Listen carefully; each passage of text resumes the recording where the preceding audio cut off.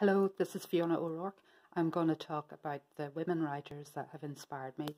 I'm starting in Wexford with Kat Hogan and Mary Macaulay. Kat Hogan you'll find on Twitter at Kitty Cat Hogan, and this little picture of a cat just represents Kat. She's an author and screenwriter, and also a course facilitator and mentor. Mary Macaulay is a fine proofreader and editor from Wexford, and she also writes a blog called Letters from an Irish Editor, where you will find all the list of festivals in Ireland. Mary is also a very fine writer, and I know that for a fact because I've read her work.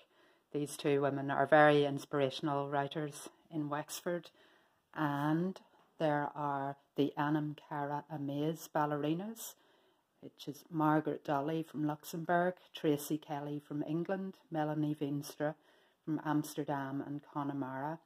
Although these are not famous authors, I think it's very inspirational to include women writers who are enjoying the craft of writing, and it's not always about being published, it's about writing community and actually enjoying the act of writing. And you will hear of these fine writers because I'm sure of it. Their work is amazing, and eventually you will have their books on your bookshelves. Here is another female writer from, well, Dublin, Bettystown, the world, Anne MacDonald.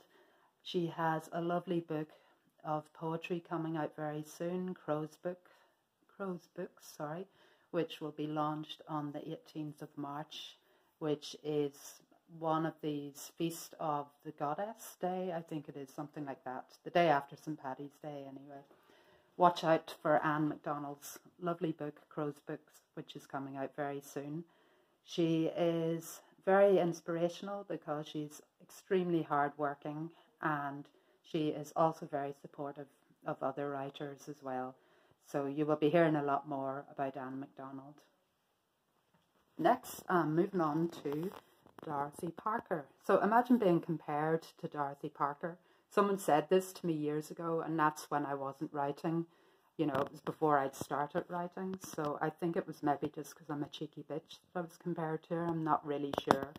But she's an extremely, um, what's the word? I don't know. Just inspirational in her short stories and her reviews and critical essays her poetry.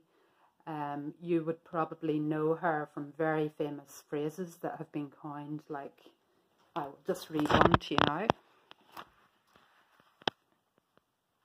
Dun, dun, dun, Bear with me, please.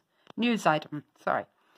Men seldom make passes at girls who wear glasses. So that was one of Dorothy Parker's. She also said things like, if all the girls at the Yale prom were laid end to end, I wouldn't be at all surprised. She was very, very witty. Um, here is one of her fine poems, resume. Razors pain you, rivers are damp, acids stain you, and drugs cause cramp. Guns aren't lawful, nooses give, gas smells awful, you might as well live. So these this collection was actually found in a second-hand bookshop in Wexford, home of my writing.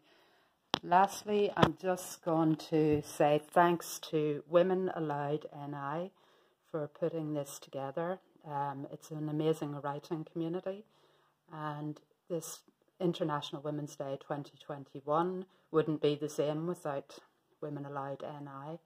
Um, if you are friends with uh, a woman writer, if you are a next door neighbour to a woman writer, if there's a woman writer in your family and they say they are going to do some writing, the best thing you can do is and bring them a wee cup of tea. Okay, thank you and happy International Women's Day.